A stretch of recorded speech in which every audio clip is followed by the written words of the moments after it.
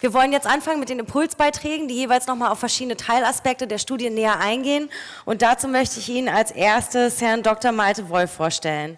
Herr Wolf leitet seit 2011 das Future Research Center an der TNS Infratest München. Hier liegt der Fokus auf inhaltliche Studien, vor allem Bezug auf mittel- und langfristige Entwicklung der Informations- und Techno Entschuldigung, Informations- und Kommunikationstechnologien sowie die Konvergenz der Medien. Das heißt, Herr Wolf ist mehr als perfekt qualifiziert dafür, uns jetzt nochmal die Studienergebnisse vor allem in Bezug auf den Digitalisierungsgrad der Gesellschaft insgesamt vorzustellen. Herzlich willkommen.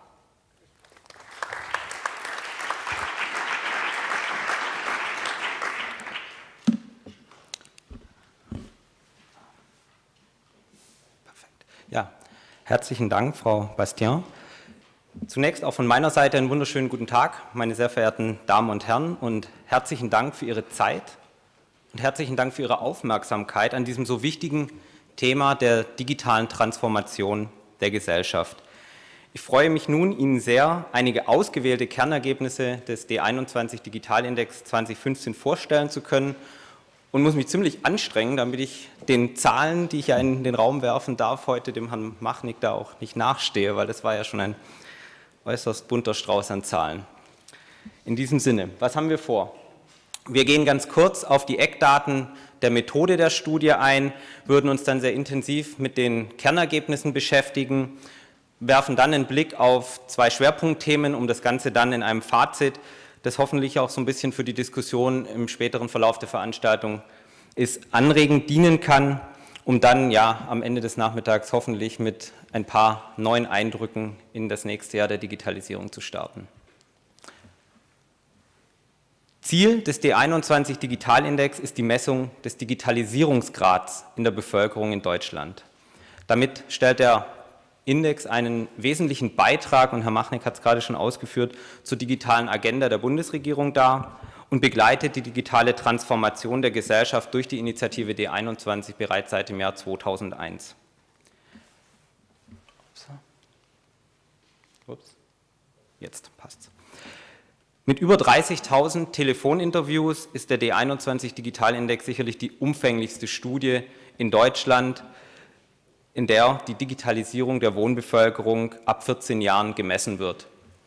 Damit erfassen wir neben den Onlinern eben auch alle Offliner mit allen relevanten soziodemografischen Merkmalen. Und es ist besonders wichtig, sie eben auch um die heute noch nicht digital erfassten oder eben noch nicht digital voll erfassten Menschen in diesem Land zu kümmern. Und unser plastisches Beispiel an der Stelle für dieses Jahr, unser ältester Befragter war 99 Jahre alt. Lass mich mal hier umgehen. Genau. Als Messgröße für den Digitalisierungsgrad in Deutschland setzt sich der D21 Digitalindex aus insgesamt vier Säulen zusammen. Das ist die Säule Zugang, das ist die Säule Nutzungsvielfalt, das ist die Säule Kompetenz und das ist die Säule Offenheit. Und hinter diesen Säulen liegen jeweils eine Vielzahl einzelner Aspekte, die dieses Thema der Digitalisierung einer Gesellschaft ausmachen. Wir sehen hier angedeutet in Blau, Violett, Orange und und Grün einige wichtige Komponenten. In Summe sind es 200 einzelne Aspekte, die wir hier beleuchten und es zeigt, dass der Ansatz der Dynamik der digitalen Transformation zum einen Rechnung trägt und auch der Lebendigkeit, ähm, die dieses Instrument enthält, ähm, sozusagen umgesetzt wird und Lebendigkeit für uns heißt auch, dass wir unterjährig Workshops mit Experten durchführen, wo wir diese, diese Aspekte diskutieren, wo wir neue Aspekte hinzunehmen, damit man immer Schritt hält mit dem, was da draußen in der digitalen Welt passiert. Kommen wir zu ersten Ergebnissen. Zunächst sehen wir eine Stagnation des Gesamtindex mit 51,6 Indexpunkten. Das ist ein minimaler Zuwachs. Das heißt, man könnte jetzt sagen, es ist nicht viel passiert. Es ist viel passiert und die Dynamik der Digitalisierung zeigt sich dann, wenn man in die Säulen schaut. Dabei steigt die Säule des Zugangs im vergangenen Jahr leicht an. Herr Machnik hat schon erwähnt, eine, eine, ein Grund dafür ist sicherlich der zunehmende Breitbandausbau. Ein weiterer Grund ist aber die enorme Beliebtheit digitaler, mobiler Endgeräte wie das Smartphone oder das Tablet. Die Säule Nutzungsvielfalt sinkt, das sehen wir auch. Und auch hier haben wir diskutiert, woran kann das liegen. Und Herr Machen hat es gerade schon erwähnt, wenn man so mal schaut, was innerhalb von zwölf Monaten an neuen Diensten, an neuen Produkten, an neuen Endgeräten auf uns einströmt, was wir alles verarbeiten müssen, so könnte eine Begründung wirklich darin liegen, dass die Bevölkerung zunehmend Probleme hat, all das Neue, was da auf einen einströmt, zu verstehen, zu begreifen und für sich zu adaptieren. Äh, Stichworte sind Streaming-Dienste, die plötzlich auf dem Markt erscheinen, innerhalb von zwölf Monaten, die, die, die Nutzungsraten von Streaming sind gigantisch. Smart Home-Anwendungen kommen immer mehr äh, in, die, in die eigenen vier Wände, aber auch im Bereich von Gesundheit, E-Health und Variables. Das sind lauter so Entwicklungen, die verarbeitet werden müssen. Schauen wir uns das Ganze in den Säulen nochmal etwas detaillierter an und betrachten zunächst die Säule des Zugangs. Mit 77,6 Prozent messen wir im Jahr 2015 nur einen leichten Zuwachs an Internetnutzern in Deutschland. Die Nutzungsplaner liegen mit 2% sogar auf einem historischen Tiefpunkt und das ist eigentlich eine ganz wichtige Gruppe, weil es sind diejenigen Personen in der Bevölkerung, die heute das Internet und seine Dienste nicht nutzen, aber angeben, das in den nächsten zwölf Monaten zu planen. Und hier ist diese Gruppe wird immer kleiner, die, die sozusagen schon mit dem Gedanken spielen, das Internet zu nutzen. Mit 20 Prozent sogenannten überzeugten Offlinern stagniert dann die letzte Gruppe auf einem sehr hohen Niveau und das sind die, sagen wir mal, beständigen Nichtnutzer des Netzes. Diese Stagnation zeigt sich, auch, zeigt sich auch im Jahresvergleich über die letzten vier Jahre, in denen wir jeweils Nutzungszuwächse unter einem Prozent messen. In den Vorjahren hatten wir durchaus mal Jahre 2009 auf 2000 10 zum Beispiel mit über 4% Zuwachs. Und auch in der Sozio, ich muss, mich, so, ich muss mich nur immer umdrehen, entschuldigen Sie, ich sehe es nicht. In der soziodemografischen Betrachtung ähm, sehen wir deutliche Unterschiede. Immer noch nutzen deutlich mehr Männer, das ist hier die blaue Linie, als Frauen das Internet. Aber man hat so das Gefühl, die ersten Zahlen zeigen, dass diese Schere zwischen den Geschlechtern sich langsam schließt. Wenn man das Ganze bei den mobilen Internetnutzern anschaut, sind die viel, viel dichter zusammen. Extrem auch der Altersgruppenvergleich. Wir sehen oben rechts in, in grün die Gruppe der, der ganz jungen 14- bis 19-Jährigen, die quasi vollständig durch das Internet in der Nutzung erfasst ist. Gleichzeitig unten in orange dargestellt die Gruppe 70 plus und hier nutzt nur knapp jeder Dritte das Internet und seine Dienste. Auch das Bundesländer-Ranking ist jedes Jahr ja spannend und wir sehen nach wie vor, die Stadtstaaten haben die höchste Internetdurchdringung, deutlich überdurchschnittlich. Der Osten verliert ganz eindeutig gegenüber dem Westen. Spitzenreiter ist in diesem Jahr Hamburg mit 84,3 Prozent Internetnutzern in der Bevölkerung und Schlusslicht ist Sachsen-Anhalt mit 69 Prozent. Das ist ein Unterschied von 15,3 Punkten. Wachstumssieger in diesem Jahr ist das kleine Land Saarland, das um 4,5 Prozentpunkte zulegen konnte. Erstmalig haben wir auch die mobile Internetnutzung umfänglich erfasst und wir sehen für dieses Jahr mit 54 Prozent nutzen immerhin doch ein großer Teil oder ja, mehr als die Hälfte der bundesdeutschen Bevölkerung das Internet und seine Dienste eben auch mobil.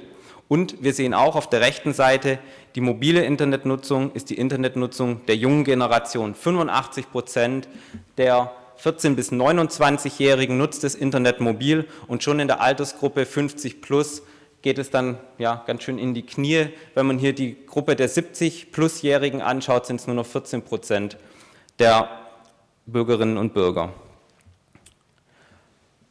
Auch hier haben wir uns den, den Bundesländervergleich angeschaut. Der ist im Prinzip deckungsgleich zunächst mal. Das heißt, Westen nutzt mehr als der Osten. Was allerdings spannend ist, ist der Unterschied zwischen, dem, zwischen der Nummer 1, wiederum Hamburg, mit 68,3 Prozent mobilen Internetnutzern und dem Nachzügler, in dem Fall Brandenburg, mit 39,4 Prozent Internetnutzern. Und das sind fast 30 Prozentpunkte Unterschied. Haupttreiber der mobilen Internetnutzung ist die Verbreitung und Entwicklung von Smartphone und Tablet. Wir sehen das hier eindeutig. So hat sich zum Beispiel die Tablet-Nutzung in den letzten drei Jahren verdreifacht. Das sind wahnsinnige Diffusionsraten, die an den Tag gelegt werden. Und im gleichen Zuge nimmt das klassische Handy deutlich an, an Bedeutung ab. Aber auch so Dinge wie der Desktop-PC werden wahrscheinlich jetzt nicht so schnell vielleicht wie das klassische Handy, aber dann doch aus den Häusern verschwinden. Beziehungsweise bei der Neuanschaffung dieser Geräte überlegt man sich dann eben eher ein Tablet oder vielleicht ein Laptop zuzulegen, aber einen klassischen Desktop. Ähm, das ist nicht mehr so en vogue. Und wenn man dann noch überlegt, was mit IPTV, mit intelligenten TV-Geräten zukünftig möglich sein wird, dann ist es natürlich schon ein, ein Shift auch in der Ausstattung der IT-Infrastruktur eines Hauses, eines privaten Hauses. Kommen wir zur nächsten Säule, der Nutzungsvielfalt. Also wie intensiv und wie vielfältig sind die Leute in der Lage, Internetdienste zu nutzen. Und wir haben hier unsere Hitparade der Online-Anwendungen und der Klassiker seit eh und je ist natürlich das Nutzen von Suchmaschinen. 94 Prozent der Befragten gibt an, diese Dienste zu nutzen. Ein deutlicher Anstieg verzeichnen wir in diesem Jahr auf 64 Prozent Nutzer bei den sozialen Netzen. Das ist ein Zuwachs um 12 Prozent und es ist insofern spannend, dass wir im letzten Jahr hier einen deutlichen Rückgang der Nutzer verzeichnet hatten fast ungefähr gleich auf und das war sicherlich im Zuge des Datenskandals, aber wir sehen hier auch ähm, offensichtlich, das Thema Kommunikation wurde von Herrn Machnick gerade angesprochen, ist die Halbwertszeit von, von diesen von diesen Botschaften nicht allzu lang. Spannend sind auch unsere Neueinsteiger, wurden gerade schon äh, präsentiert. Streamingdienste in relativ kurzer Zeit bei 20 Prozent der Befragten in der Nutzung, auch Smart Home und E-Health-Anwendungen werden immer verstärkter genutzt und ich denke, dass auch hier im Zuge zum Beispiel von Einführung von Internet der Dingen Anwendungen die Diffusionsraten extrem hoch sein werden. Kommen wir zur Säule Kompetenz. Um sich selbstbestimmt in der digitalen Welt bewegen zu können, ist das Verständnis von Begriffen der digitalen Welt sicherlich ein, wichtiges, ein wichtiger Indikator. Einige Begriffe der digitalen Welt sind in der realen Welt oder sind in der Gesellschaft bereits angekommen. Das sind Begrifflichkeiten wie Internetseite, soziale Netze, aber auch Begriffe wie das App. Das heißt, die Leute sagen, ja, ich, ich weiß, was eine App ist und ich könnte sie zum Beispiel auch jemandem erklären. Andere Begriffe tun sich da deutlich schwieriger. Ups tun sich da äh, deutlich schwieriger in, in die Welt, in den Sprachgebrauch der Menschen zu kommen. Das sind Begriffe wie zum Beispiel LTE, nur noch bei 39 Prozent der Befragten präsent oder die großen Treiber unserer zukünftigen Gesellschaft und unserer zukünftigen Wirtschaft, wie zum Beispiel Internet der Dinge oder das große Thema Smart Data oder in dem Fall abgefragt Big Data, ist nur noch bei 8 Prozent der Menschen präsent. Und wenn man sich ja Trenduntersuchungen anschaut, wird in den nächsten Jahren das natürlich ein Themenfeld sein, das uns zunächst mal wahrscheinlich in der, in der Wirtschaftswelt sehr stark beschäftigt, aber dann auch in ganz, ganz kurzer Zeit auch im privatlichen Umfang. Und da ist sicherlich noch sehr viel auch äh, ja, Kommunikation und Aufklärungsarbeit zu leisten. Spannend ist, hier schon angesprochen und auf der rechten Seite dargestellt, einfach mal der Vergleich auch synonymer Begrifflichkeiten in deutscher und englischer Sprache. Und wir sehen, dass die deutsche Sprache da deutliche Vorteile bei der Kommunikation dieser neuen Entwicklungen hat. Kommen wir zur, zur letzten Säule, der Säule, wie offen die Menschen gegenüber dem Internet und seinen Entwicklungen eingestellt sind. Und hier sind besonders spannend eben auch wieder die Unterschiede in den Altersgruppen. Wir haben hier immer mal die jüngste Altersgruppe und die älteste Altersgruppe gegenübergestellt, haben einfach mal drei Beispiele herausgegriffen. In der Studie finden Sie noch wesentlich mehr Einstellungskonstrukte. Schauen wir sie uns an. Lila dargestellt, Jüngere sehen heute deutlich mehr Vorteile in der Nutzung des Internets für sich selber als Ältere. War vielleicht zu erwarten. Aber blau dargestellt, rund ein Viertel aller Befragten nimmt sich tatsächlich vor, öfters bewusst offline zu sein. Und hier wiederum sind die Jüngeren diejenigen, die das für sich in Anspruch nehmen. Orange dargestellt, fast die Hälfte aller Befragten ist der Meinung, dass digitale Medien in alle Schulfächer integriert werden sollten. Und spannenderweise ist es vor allem in der älteren Zielgruppe äh, das, wo zugestimmt wird.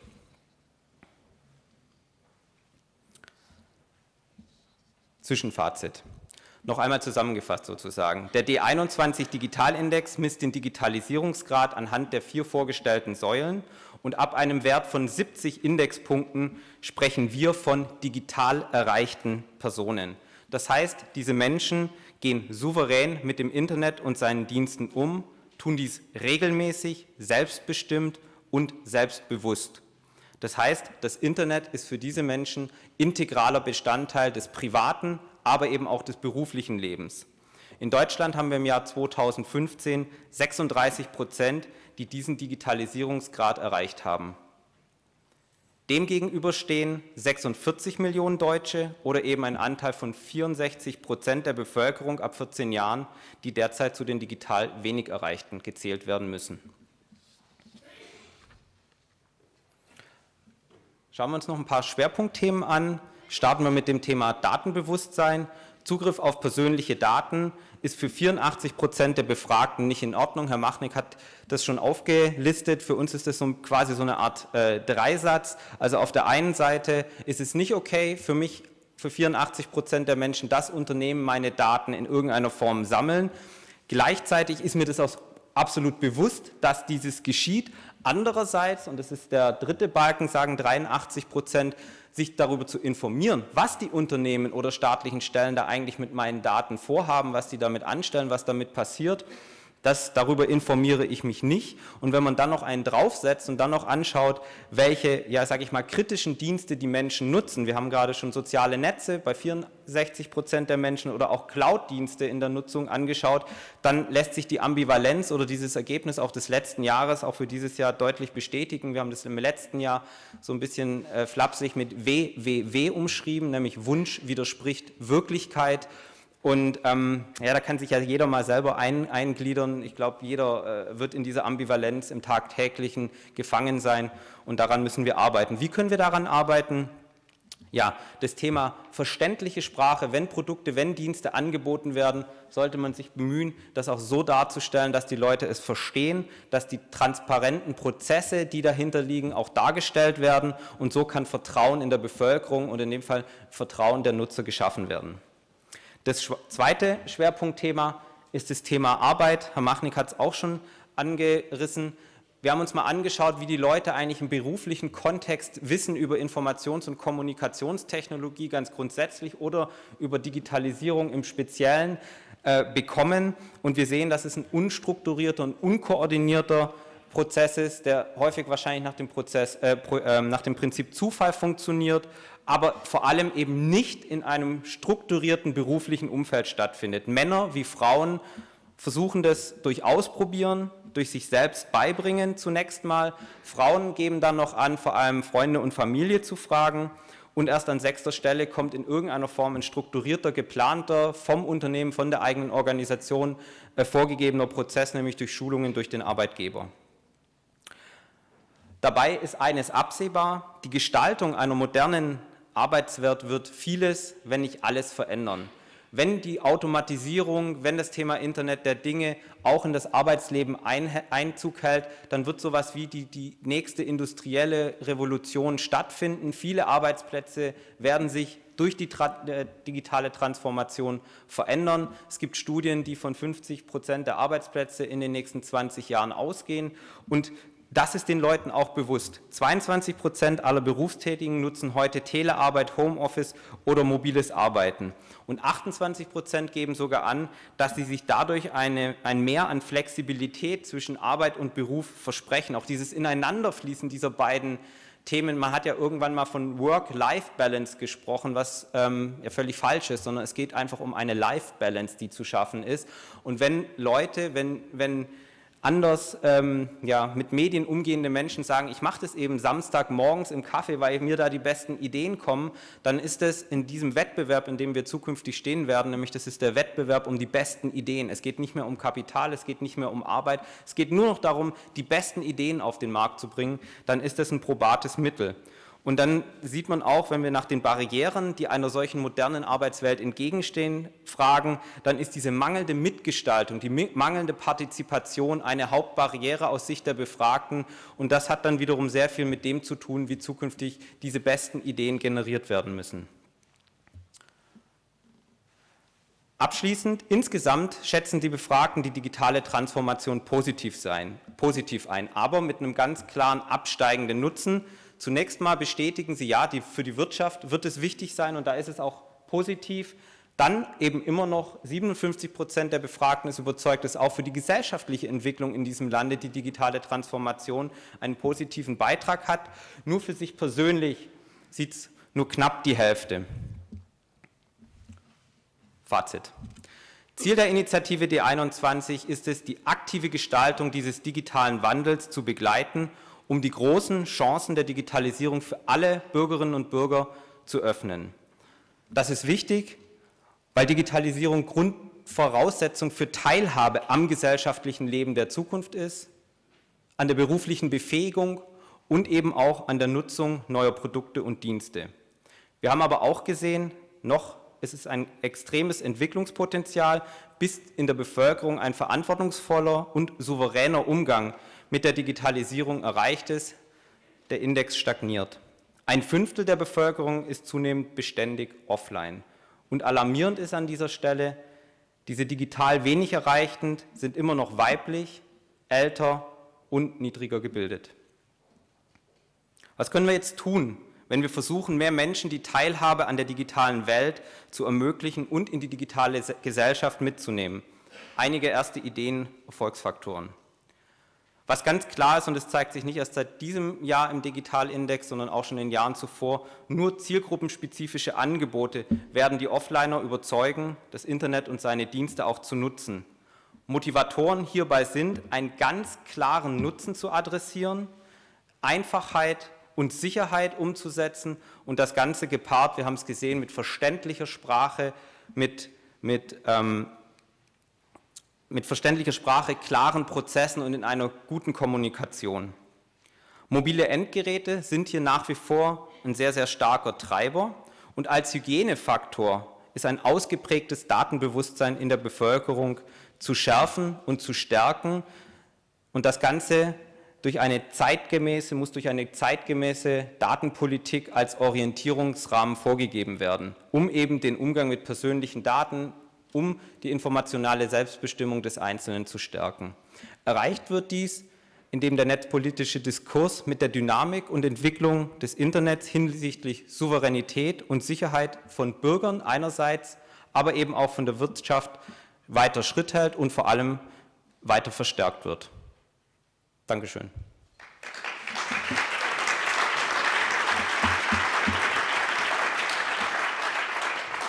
Vielen Dank für den ähm, super Überblick und sehr, sehr spannenden Einblick, auch gerade nochmal mit den Fazits am Ende. Wir nehmen uns ganz, ganz kurz Zeit, vielleicht für ein, zwei Fragen, weil es so spannend war. Ich schaue ins Publikum, ob eine Hand schnell hochgeht, aber ich würde an der Stelle organisatorisch gerne nochmal darauf hinweisen, ich äh, lese den Twitter-Stream mit, um zu gucken, ob da Fragen und Anregungen kommen. Wenn Sie möchten, dass eine Frage auf jeden Fall gesehen wird, dann können Sie sie auch gerne an mich direkt adressieren, Geraldine also Geraldine, wie mein Vorname mit B, ist mein äh, Twitter-Handle.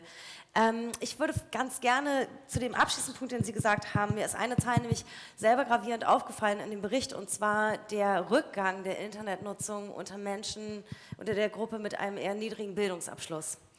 Und das fand ich absolut schockierend. Also nicht nur, dass es ein stagnierender Zuwachs ist, sondern ein Rückgang an der Zahl der Internetnutzer.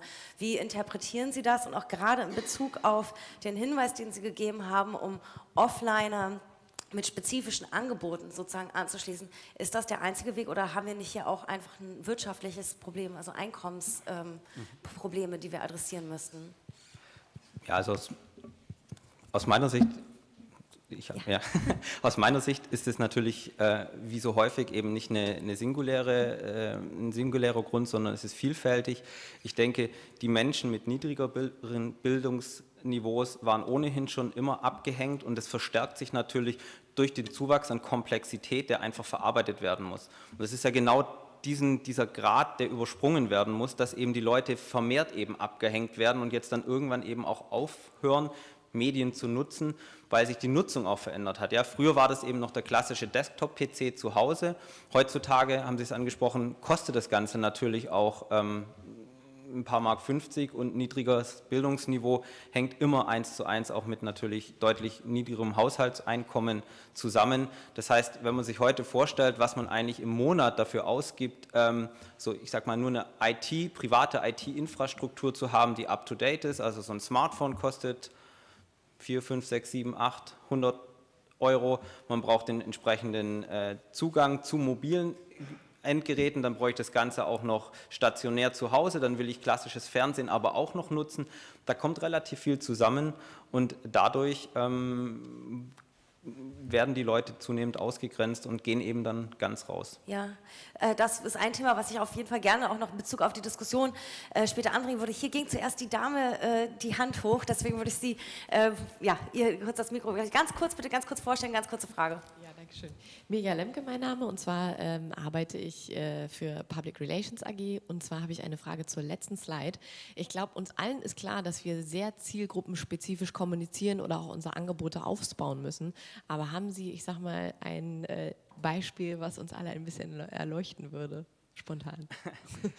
Also es gibt ein Beispiel, aber ich traue es mich gar nicht mehr zu sagen, weil es schon so oft ähm, genannt wurde. Aber ein schönes Beispiel nach wie vor ist diese im Saarland dieser, dieses äh, Projekt mit Kaffeekuchen Internet, wo älteren Personen, also äh, es gibt ja noch viel härtere Zahlen, also jede zweite Frau ab 50 in Deutschland nutzt das Internet nicht. Und da wurden eben ältere Damen, also kann man sich ja vorstellen, wenn man dann nicht mehr ab 50, sondern in der Altersgruppe 70 plus ist, da bewegen wir uns dann quasi äh, in einer internetfreien Zone. Und diese Leute davon zu überzeugen, warum es wichtig und spannend sein kann, das Internet zu nutzen, läuft da nach dem Prinzip, ob es genauso funktioniert, weiß ich nicht genau, äh, ab, dass man sagt, okay, wo ging denn die Hochzeitsreise hin? Jetzt können wir uns das mal im, dann setzt man sich dahin, kann man sich das anschauen. Plötzlich wird mit dem Medium, das einem sehr weit fern ist, plötzlich ein aktiver Nutzen verbunden und plötzlich fangen die Leute an, oh ja, dann will ich aber mal sehen, wie es da aussieht und so kann so ein Prozess ganz konkret begonnen werden und das funktioniert, glaube ich, relativ gut. Dankeschön. Ähm, nur wenn Sie mir versprechen, noch genauso knapp äh, Herr wie Görde, die Frage eben. Hochpräzise. Die Frage bezieht sich auf die 20 Prozent. Sie haben Offliner, man könnte auch Hardliner sagen, die das ablehnen. Da stellt sich die Frage, was kann man da tun oder erledigt das die Demografie irgendwann? Dankeschön. Wolf. In der Tat sind diese 20 Prozent älter, weiblich, niedriger gebildet, mit einem geringeren Haushaltseinkommen.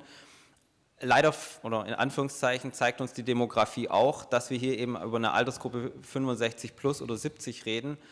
Ähm, meine Eltern sind auch 70 und ich hoffe, dass sie noch 15, 20 Jahre unter uns weilen. Und ähm, es wäre für mich ein großes Drama, diesen Teil der Bevölkerung über einen so langen Zeitraum nicht mit zu integrieren. Ähm, es hat auch eine, wirtschaftlich natürlich extreme Auswirkungen. Denken Sie in den Bereich E-Government, wo man einfach alle Systeme, ja, wir reden über 20 Millionen Bundesbürgerinnen und Bundesbürger und alle Systeme müssen parallel vorgehalten werden. Ja? Wenn die nicht digital erreicht sind, dann äh, muss ich halt die Steuererklärung immer auf 20 Jahre noch auch äh, analog ähm, vorgeben. Und insofern ähm, ja, müssen wir da wirklich kreativ daran arbeiten, wie man, glaube ich, mit kleinen Ideen anfängt, so wie dieses Kaffeekuchen-Internet-Thema, wo man mal diesen Nukleus, diesen, diesen Ping setzt und dann didaktisch weiterarbeitet, die Leute von weiteren Vorteilen zu überzeugen. Aber das Ganze natürlich muss einfacher werden. Wir müssen Ängste nehmen, das haben wir heute gar nicht im Vortrag angesprochen. Viele in dieser Zielgruppe haben natürlich auch die Datendiskussion mitgekriegt, sind natürlich noch mehr verängstigt. Übrigens auch noch ein Grund, warum es zurückgegangen sein kann und sagen, oh, dann lasse ich lieber gleich zweimal die Finger davon. Und da müssen wir dran arbeiten. Auf jeden Fall. Und das Wie, das können wir dann vielleicht später in der Diskussion noch stärker beleuchten. Ein Applaus nochmal. Vielen Dank an Sie, Herr Wolf.